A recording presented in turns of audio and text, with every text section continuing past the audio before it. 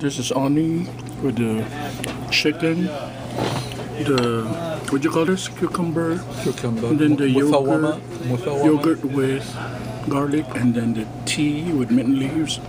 And this is the hummus, the salad, the pita bread, and the lamb. That's droni.ni.edu. That's me. You're enjoying the food. Okay. That's it.